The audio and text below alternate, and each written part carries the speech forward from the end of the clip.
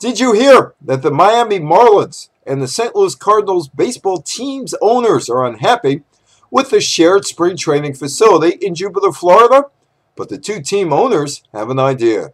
Let's spend as much as $100 million to fix up the spring training facility and see how much money Palm Beach County, along with Florida taxpayers, will contribute to keep the ownership groups happy.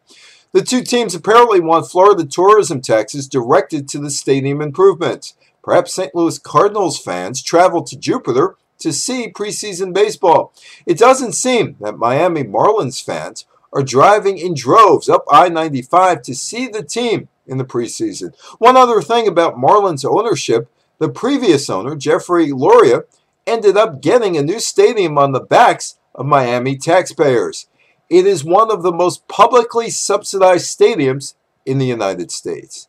The two teams, the Marlins and Cardinals, claim they need expanded clubhouses, agility fields, more batting tunnels for baseball purposes, and to make the customer experience more rewarding, an expansion of team stores on the premises, Wi Fi, although if you have a smartphone, Wi Fi isn't really needed, a new scoreboard, and more shade for the customers in the stands. Palm Beach County is already paying millions for a relatively new baseball complex built for the Houston Astros and the Washington Nationals.